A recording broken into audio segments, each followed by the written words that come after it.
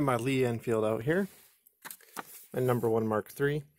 And what we're going to be doing today, we're testing our Vihtavuori powder, but I actually want to do some seating depth tests because this is a little bit more, so this is one of my more accurate, reliable guns. This will probably showcase uh, how seating depth can affect the size of your groups more. Uh, and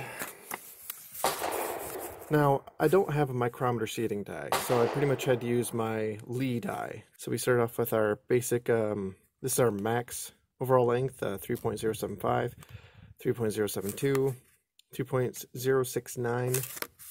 Now this one, uh, this is, I went by four thousandths instead of three thousandths. That was mostly because, well, I don't got a micrometer seating die. So although that's an oopsie, that's still within the ball, ballpark. And uh, we only loaded up, since we have the brass for it, uh, five strings. Let's see how they do. Let's see if there's any huge amount of differences. Now, it's a fairly warm day, actually. Uh, well, comparatively speaking, it's about 26 degrees Fahrenheit.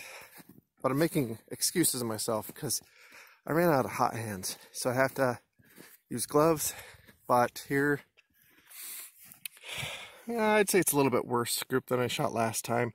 But you can see lower left, that is very consistent with what we shot last time. So let's continue with our seating depths and let's see how that affects the group. So this is 3000 shorter and you can see we have a flyer.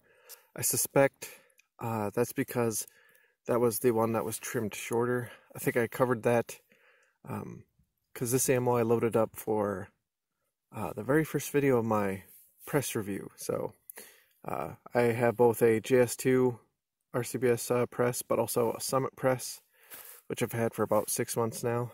And yeah, anyway, you can see a little bit of point impact shift. Group did tighten up, with the exception of flyer, but let us trek on. Fascinating.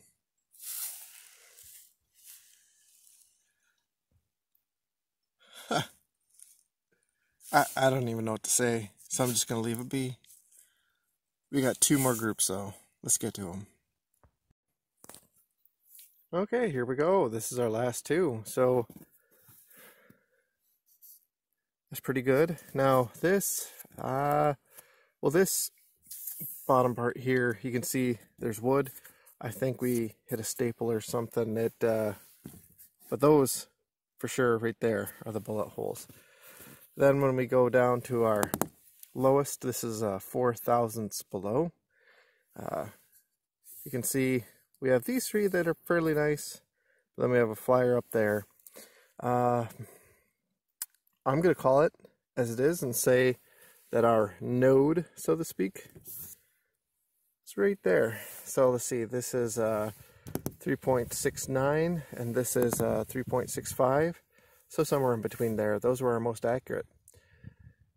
so last part, which really should be the first part, is to chronograph these. Because that would tell us whether or not it's going to be a good load for out 500 yards or more. Uh, not that I fire at those ranges. There's no local ranges that have that ability. But for my purposes, where I don't need to worry about the bullet speed and I only need to worry about the accuracy of my rifle, here we go. We had a basic OCW workup and then we messed with our seating depth. We found pretty much what's going to work best for that load. And this will be a very tolerant load. So whether it gets down to closer to the middle of winter where sometimes it can get negative 20 all the way up to, you know, summer where it's only 80 or 90 up here in the extremes. Uh, we have our load.